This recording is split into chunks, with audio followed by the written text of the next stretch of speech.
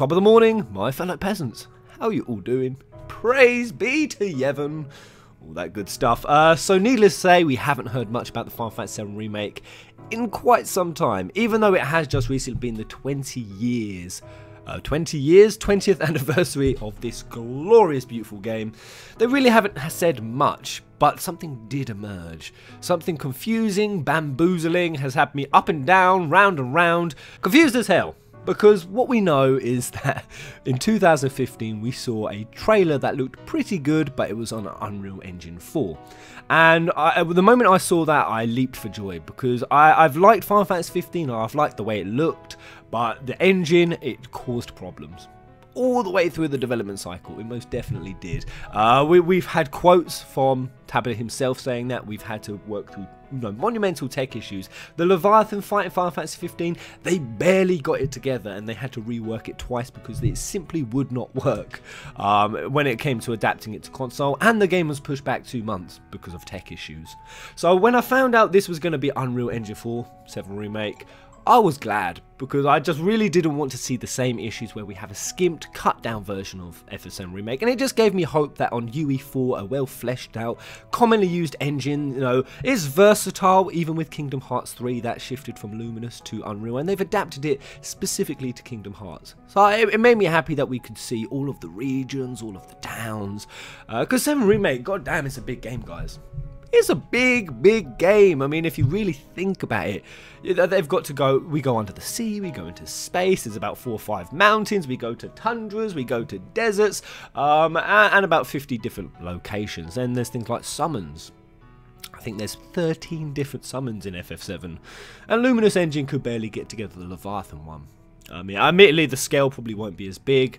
Um, so, so that's what I was happy about. But Yoshinori Kitase has now thrown a huge spanner in the works that could either be perceived as bloody damn good news or ominous. And it has come from a interview on Creative Village. It hasn't really hit mainstream news yet. And he said the following. I would like the people of today's generation to taste the shock that was tasted then. So Final Fantasy VII Remake produced this time is not made by tracing FF7 20 years ago, but by generously introducing the latest technology, exceeding the latest FF series, Final Fantasy 15. I want to deliver a new shock. Well, Kitase, deliver it you have.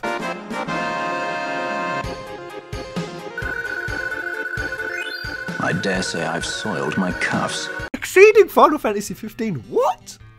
What? I mean, I- have looked at these two engines for the last year, so this is fantastic news. I mean, just on the face value before I start getting uh, worried about it, this is great. That means we're going to have a fantastic looking Final Fantasy VII Remake. It's going to look incredible. Way different to what we saw in 2015.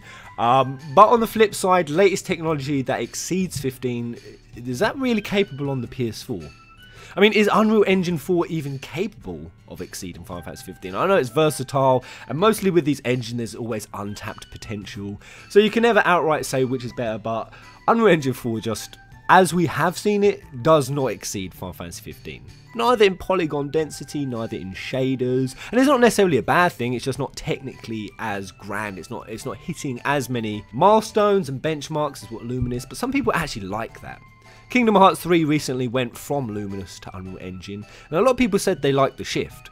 Although the character models definitely do look better, the hair strand details um, and some of the texturing is far better on Luminous. A lot of people say they don't like it, it gives like a grainy kind of matte, uh, almost too realistic look. And with something like Kingdom Hearts, which is a bright, vibrant, um, kind of ridiculous and out there game, a lot of people have said that they prefer Unreal Engine 4. It has the sort of the smoother texturing to it and it really makes the colours a bit more poppier. But on what planet is Unreal Engine 4 going to be exceeding Luminous Engine, the engine that Square Enix have worked tirelessly to try to get into um, a really workable condition. So, are we talking Unreal Engine 5? And uh, that, that, raises more questions. Um, with this coming in 2019, I have said from day one, I really don't see what Square Enix are going to do.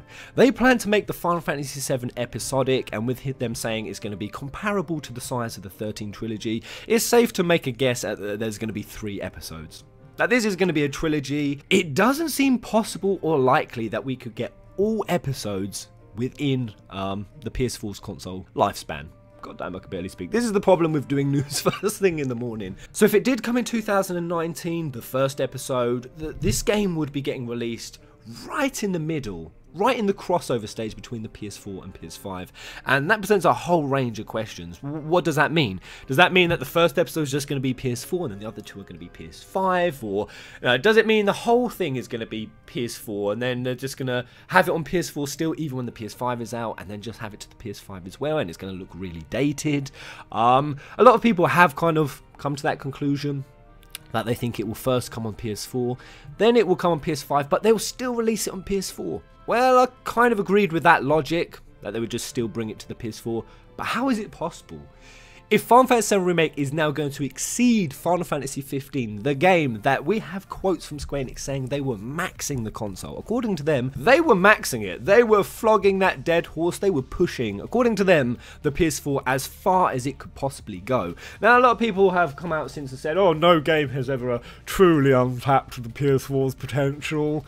Um, I, I disagree with that. I think we have seen how far the PS4 can go. So I can't see um, if anyone has any ideas or thoughts. I'm really open to hearing any advice. Guys, I don't want to come across as a know-it-all. Um, I've really looked at these two engines side by side comparison videos, and in my opinion, I can't I can't see myself how Unreal Engine 4 could exceed Final Fantasy 15. Maybe are they shifting to a totally different engine at all? I'm highly doubtful. But to hear this news mixed in along with everything we've seen with Final Fantasy VII Remake recently, which is a huge CyberConnect fallout, a massive internal shift, all to now internal and having to recruit about 200 new staff members, and by their own admission they have to train those people, and how the development cycle has been sort of halted and pushed back slightly, and with Kitase, uh, Kitase Nomura Nomura, the director of the game, doing Kingdom Hearts 3, Final Fantasy VII Remake is in a very dodgy position. So on the face value, I wanted to read this, that FF7 Remake will exceed 15,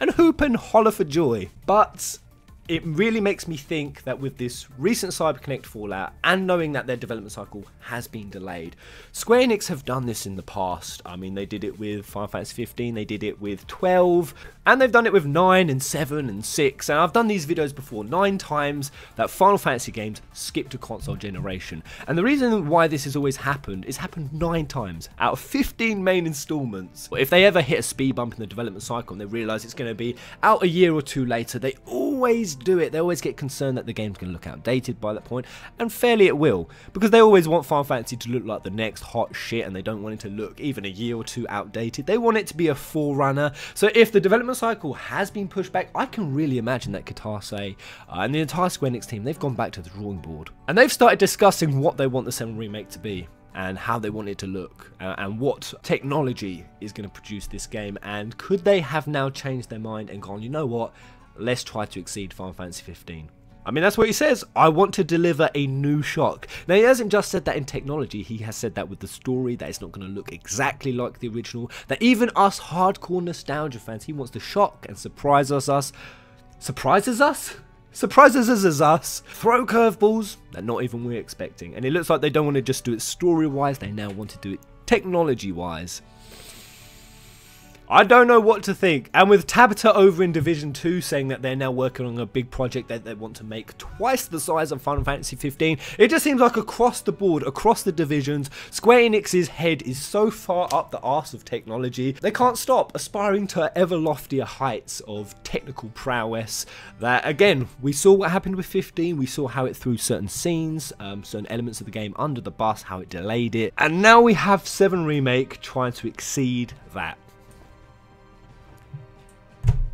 It's scary times, guys. It's exciting times. We may have a 7 remake that looks absolutely uh, incredible, and I could be eating my own words, and they could really pull this off, and this could be the best remake of all time. Or we could end up seeing this in 2024 uh, after monumental cuts with frame rate issues, bugs, glitches, and God knows what else. Uh, I'll leave a link to the article. It was Creative Village. Most of it hasn't even been translated, so if anyone knows how to speak Japanese. But there it is, guys. Let me know what you think in the comment section below. How do you feel? What do you think is going down at the um, Square Enix headquarters? And uh, this really makes sense because Nomura said we wouldn't be hearing about the 7 remake for a while. And in Nomura's terms, considering soon means six months, a while must mean at least a year plus, so I really think that Seven Remake has just slid back. Slid back in development, Square Enix have massively changed up what their aspirations technically are for this game, and even another part of this article, uh, Kitase even kind of admits it, he says they are still, quote, brushing up on the scenes we saw in the trailer. But I don't care. I don't care. I have waited 10 years for this game. I have petitioned, I have begged, I have pleaded, I have argued with trolls who never said it would happen online. I can wait. I can wait. Because patience is a virtue, and good things comes to those who wait. Apparently. Just don't mess it up until the next video. Kupo!